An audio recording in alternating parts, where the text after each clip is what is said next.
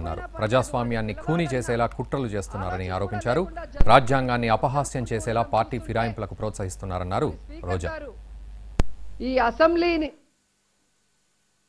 పవిత్రతను ఏ విధంగా కాపాడబోతున్నారో కూడా చెప్పాల్సిన అవసరం ఉంది.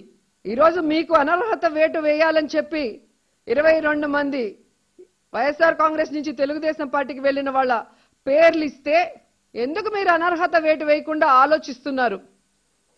ఈరోజు మీ కళ్ళ ముందే నలుగురిని మంత్రులు కూడా చేస్తే అసలు తనకి కనబడనట్టు చూడనట్టు కూడా ఈరోజు చేస్తూ ఆ ఇష్యూ కోర్టులో ఉంది.